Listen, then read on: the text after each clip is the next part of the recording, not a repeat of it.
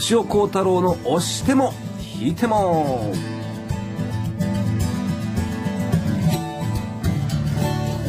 こんばんは押尾幸太郎です。そしてこんばんは南香織です、えー、甲斐義弘さんとのあの蜜月が先週の先々週かの土曜日で終わりまして。終わりました。寂しかったな。もう泣いたもんだって、最後泣いたの私ちょっとねあの仕事できなかったんですけど、そうもう舞台袖引っ込む時にもう隠せず涙を、ええステージでは泣かないように泣かないようにって思いながら、うんうんうんぐっとこらえてもう舞台袖戻ったらもう、わあ終わった。でもそれだけお塩さんが楽しかったし幸せだったってことだよいね楽しかったですね。もう楽しかった、ねえうん。その一言、ん。まあ感想も本当たくさん番組に届いてまして、ねありがとうございます。なかなかご紹介できなくてごめんなさい、でねあの塩さんと言いますとそうやってまあ解散をはじめいろんな方とコラボレーションしてるんですが、はい。実は、えー最近またまたすごい方とコラボレーションがありましてですね、ん。えーこちら京都市伏見区のラジオネーム藤子めぐさんです、はい。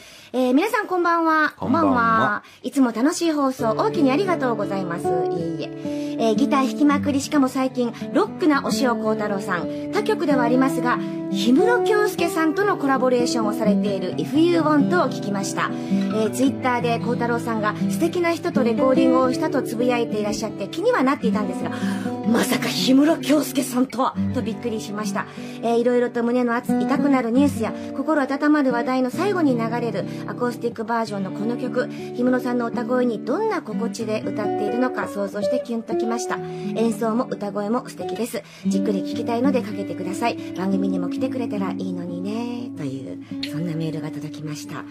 まあこれは私もちらっとお話を伺ってたんですが。そうなんです。これ、はい。もうまずレコード会社にね、ん。なんかこの氷室京介さんからあのレコーディングのオファーのメールが来てるけどえ？っ、と思って。ほうほうほうほそれで、まあでもちょっとメール読んでみたらすごくね、あの、僕のその氷室さんのイメージってなんか怖いイメージがあって、あ、あの、まあ、私も、なんて言ってもほら、我々はほら、ボーイの。ボーイですから、はい。でその怖いのがかっこよさじゃないですか。うん。でもね、すごいメールの間、その、ものすごく丁寧で、うんうんうん。えーあの、ぜひその、お塩さんの、その、きらびやかなそのリズムのグルーブで、あの、アコースティックバージョンを撮ってほしい。うんうんうん。これ一緒にやりたいみたいな。うんうんそんな話が来て、ーそのやっぱそのメールの内容で、これは本気？と思って。え。で結構ね、長文なメールが。そうなんですよ。ご本人からだったんで、なんか、だ、だいたいそういう時ってほら、あの、マネージャーの方からメールとか、マネージャー、レコード会社。こっちのレコード会社、おしょさんマネージャー、おしょさんみたいななかレ。コード会社のディレクターから来たみたいなので、はいはで、それだとちょっとこう温度、温度差が出てくるんですけど、氷室さん時期だったんで、うんうんうんうん。これはもう、ぜひとも、ぜひともやらせてください。で、またこの If You Want っていう曲が、あの、氷室さんにとっても、あの、震災を受けて歌詞を全面的に書き直したっていう曲なんですよね。そうなんですね。その曲のそのまあカップリングということで、アコースティックバージョン撮りたいと。はい。もうもうぜぜひ喜んで。わあ。こうしたら。ねえ。すごいよね、なんか。なんか、すごいね。うん。うん。聞きたい。これはでもライブでもやりたいですけどね。あ、おしおさん。うんうん。と僕は僕は思ってるんですよねどう。する？一緒に、一緒にね。日村さん。来てるかな、ラジオ。ひろさんやりましょう、一緒に。まず来ていただこうよ、ラジオに。ラジオ来てほしいで。ひろさん聞こえるラジオ。ねえロ。サンゼルス今。あ、そうか、日本にいらっしゃらないの、日村さんって。あ、そうなのかあなの海外ですね。そうか。じゃあ、帰国および、あの、もしかしたら、もしかしたら電波届いてる 届かへんわ。そうかな。思いは届いてると思いますけど、ヒモロク無理無理です届かへんと思って。さあ、じゃあ、まあ、それはちょっと楽しみに待つということで、はい聞いちゃいます、それ。そうですね、うんこのニュースゼロテーマソングね。この氷室京介、If You Want。じゃあ、えーフューチャリング孝太郎お塩で聞いてください。3月14日にリリースになったばかりです。ニュースゼロテーマソング、氷室京介さんで、If You Want、フィーチャリング、孝太郎お塩バージョンでお送りしました。ええ曲ですね。ええ曲や。そしてまたお塩さんのギターが素晴らしいですね。いやー素敵やわ。これ、日村さんがいいからですよ。うん。もう、こう、絡み合ってるでしょ。ねこれライブやりたいですね。もう何回もやる。そうえ。そう言ったもん勝ちですから。ロスで聞いてたから。本当でもね、いや、生で聞けたらそれはすごいだろうなと思います、これ。ねねえ。でもその氷室さんのメールがあって、それを読んだからこその、またこのメロディーですもんね、お塩さんのね。うん。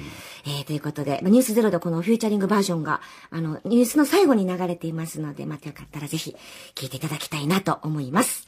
えー、藤子めぐさんには番組特製ギターピックをお送りします。さあ、今日のおし引きこの後ですね、沖仁さんからメッセージが届いておりまして、後半にはお久しぶりでございます。上岡とめさんの登場です。さあ、フラメンコギタリストの沖仁さん、番組にもお越しいただきまして、うん去年電話でもお話ししましたよね。えー、なんとなんと沖さんからメッセージが届いていますのでご紹介しましょう。えー、まずはですね、沖さんのアルバムのコンシエルトの中から、笛を聴いてください。塩幸太郎の押しても引いてもメールはおしおアットマーク mbs1179.com ファックスは0668099090ギタリスト、押尾幸太郎さんがめっちゃ好きなアーティストをご紹介するお時間がやってまいりました。ということで、スタジオにお客様をお迎えしています。今週のゲストは上岡とめさんですこんばんは。こんばんはよろしくお願いいたします。よろしくお願いしま番組はご無沙汰のイラストレーターのトメさんです。はいさっきね、下を通りがかったら、たまたまお塩さんに会って、そうなんです。関西住んでませんやんか。本の宣伝していいよっておっしゃっていただいたので、今慌ててスタジオにおなんで邪魔したところそうなんで大阪いてんのって話からはいはいはい。始めてるからばったりと来るみたいな今上がる ?9 回なんで。えー宣伝させてもらっていいの？あ、行く行く。いやいや。あの、番組的に大変お久しぶりで、はい4年ぶりですって、トメさん。番組登場。オリンピック一回終わりましたね。本当ですね。はいじゃあ次4年後ですから。はいあでも、お嬢さんはもちろんちょいちょいお目にかかってあのねコンサートね結構あの時間見つけて来てくれたりはするんですけどねはいねえ、そう。改めてご紹介しますと、あの、おしおさんのファンクラブの開放誌にも、えー、漫画おしおくんを連載中でございまして。そうなんですよこれもう長いですよね、これ。あれ、あの、ずっと今高校時代を描いてるんですよね。高校時代がね、一番やっぱり熱いですよね。うんそう、うんこの今のお塩さんのギターの原点。うんうんうん。できるだけもうほぼはい。完璧に近いんじゃないかっていうぐらいもう再現してもらってて、その割に忘れてますよね、お塩さんね。あれ思うんですけど、いつも、トメさんがおしおさんに取材をして、で、どんなことあったのって聞き出して、それをイラストというか漫画にしてらっしゃる。そう。そうそうそう。です綿密な打ち合わせするんですよ。でああの時はどうんとね覚えてないどうやったっけ？なんかでも一つ引き出すと結構そこからズズズズそっから出てくる。うん、芋づり的。に。意外と忘れてるもんですね高校時代のトメさんの描くおしおさんが、可愛いこと可愛いこと。ねねそっくりですね。そっくりですね。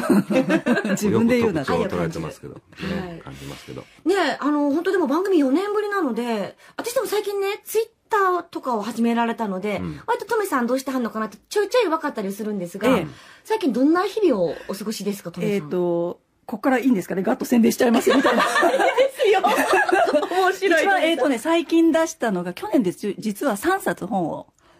出したんですけれども、ね近所が12月に神社散歩っていう、神社散歩。はい、アーススターエンターテインメントから出したんですが、なんと今年は古事記編纂1300年とそう。ないんですよう。ことで、。聞いてくださいよ、奈良は。私は。奈良行きましたよ。あ、本当ですで、かそれで古事記に合わせてうん全国の神社を回ったという。すごいそれを漫画にまとめたもので、どんどん早口になっちゃうんですけれどもうんうん、で、次が、えっ、とですね、今一番今度新しいのが、ノー玉の2。うん例の。はい、前回あの、の、ノー玉なんですけれども、はい今回お塩さんにも協力していただいて、はい漫画にも出てるんですが、えータイトルがあるんですけど、うんえっ、とね、脳は年齢を重ねても衰えるのは嘘。うーん。みたいなタイトル。うんはい。だから結局その年を取ったから物忘れが激しくなってるとかあの記憶力が悪くなったとかって嘘だっていうことですね、まさしくそれを東大の、えー脳学者である池谷裕二さんとまたタッグを組んでうんうんうんまとめている最中です。あ、なんか心強い。な、それ。そうだからその普通だったらその、そういう本はこう堅苦しいイメージがあるでしょ、うんうんうんうん。だからちょっと読むのがこう億劫かなと思うんですけど、上岡さんのそのフィルターにかかると、まあちょっと読んでみようかなっていう。そうそうそう。ほんまかいなすいんですよねほんまかいなってまず開けるんですよ、ほんまかいなと思って最後にお塩さんがほんまやって 漫画で言ってるという。そうなんや。え、そして？うんえっと、あとはですね、言うとキリがないんですが。キリがないねはい、でも、Facebook。あ今、そうそうそうはい、えー、止めページっていうのを作っていま止して。めページ？はい。うん。月曜日と木曜日にですね、こちゃれって言って小さいチャレンジなんです。小さいスモールこちゃれ、うんあ、かわいい、こちゃはいれ。こちゃれってかわいい。そうそう今日のこちゃれとかそう木月曜木曜日はこちゃれの日みたいな感じで、うん今日はこんなことをしましょうっていうのを、えっ、と、ちょっとしたイラストと一言と、あと今英語の勉強をしているので、うん英語で。来た。なんでもチャレンジしはるね、トメさんってね。えこちゃれってそずずっと継続してこちゃれるの？そうです。こちゃれの1から始まって、うんずっと今年に入ってから始めてるんですけど、えーえ、ちなみにこちゃれってん、今までどんなこちゃれがあったんですか？最近ね、えっ最近はね、気になるスイーツは今日食べちゃおうとか。うん。ほうほうほう。あとは、えっ、と、一番キンキンのは、たまにはメールじゃなくて手紙を書いて。ああ、それがこちらでんああ。確かに小さいチャレンジやけど、なかなかしようと思わない手としないよね。紙書いてないわ。書いてよ。あそうです。なんか、えっ、と、そう、そんなのばっかり蛇口を磨こう。心が綺麗になるよとか。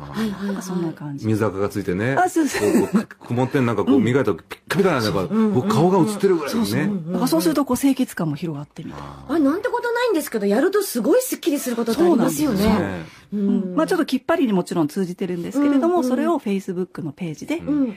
まあネット上でもこうちょはいっと確認できると。ねそうなんです英語で、勉強とか、それを英語で書いてるってことですか？そうなんです。一言日本語で書いて、うん英語で、英語の先生がいるんですけれども、ほうほうはいほうほう。書いて。ええ英語の勉強もできちゃうぜっていう。おーすごい ー。一粒で二度三度美味しいという。そうそうじゃあぜひそのフェイスブックをね、はい谷岡とめ。はい検索して、こはいれ登録すればいいのかな？止めページを。そうそうそうあそうです。そうですね左にはちゃんと、お塩幸太郎オフィシャルのページも、ちゃんと入ってる。お、素晴らしい。ここでもコ素ラボ。晴らしい。ねえ。でもなんかいつも思うんですけど、トメさんってね、まあ、言われたら、あ、そうだね、やってみようかなと思うことが山のようにあるんですけど、それをね、どうやって思いつくのかなと思って。みんなほら、言われたらそうそうと思うんですけど、ええええなかなかそこに至らないっていうか、思いつかないんですよね。そうね、言ってもこう、知ってるのとやってるのってもう全然違ってて、そうそうそうとりあえずやってみるっていうのが私のそのポリシーなんですね。やってみてダメだったらいいじゃん。うんで、やらないで後悔するよりは、うんやって後悔した、やって反省か。うん後悔はしないので、うんうん、やって反省した方がいいかな、うんうんって思ってます。素晴らしいな。そうそう。でもななかなかそう、あの、思えないね、うん。人もたくさんいるわけですよ、やっぱりこう、うん。リリスナーとかね、ね。あの、ファンの人でもね、うん。どどうしたらいいんですか？とか言って、僕も割とこう、あの、トメさんと同じタイプで、うん。まあ、その、嫌なやつほどこう、割と引き受けたり、うん。あるじゃないですか、なんかこう、嫌かなって思うようなやつ。はい。なんとなく嫌と思うやつはやってみて、うん。あの、食べず嫌いじゃなくてね。うんそしたら、そしたらなんかこう、あ、良かったりするのが多くて。ね。で、逆に、ね。うん。逆にこっちは大丈夫かなと思ってるのに結構トラブル起きたりとかね。それあそうでする。とっても共感。なんかそういう、そう、仕事上でも何でもそうなんです。だから、うんうん。